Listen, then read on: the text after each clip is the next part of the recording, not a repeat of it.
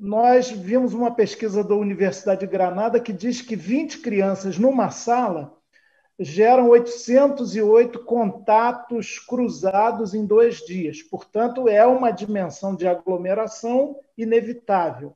Como enfrentar isso? Eu quero te fazer perguntas muito práticas. Primeiro, se tem um plano para testagem prévia dos profissionais de educação.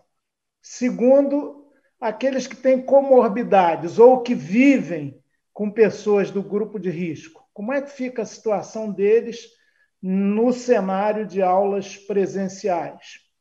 Terceiro, sala climatizada significa sala fechada. E a ciência já disse que ambiente aberto dificulta a propagação do vírus. Ambiente com portas e janelas fechadas é facilitador é, da virose. E, por fim, eu queria que você também elencasse aí quando está previsto um encontro seu para ouvir aqueles que fazem a educação no município, o CEP, o SIMPRO, o Movimento das Mães Irresponsáveis, o MOVEM, para que a gente faça um processo efetivamente democrático. Encerro dizendo: todo mundo quer aula presencial. Eu, que sou um velho professor, acho que esse contato humano direto é fundamental.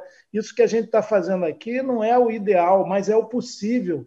Vale a mesma coisa para a educação. Não adianta gritar que tem que ter aula, tem que ter aula, porque, havendo risco, a gente tem que ter firmeza e segurar essa onda e esse clamor natural. Mas o nosso papel não é vanguardismo, não é informar da racionalidade, dizer é, que aula presencial nesse estágio, que tende a se agravar, lamentavelmente, é uma temeridade e é um desrespeito, inclusive, às crianças.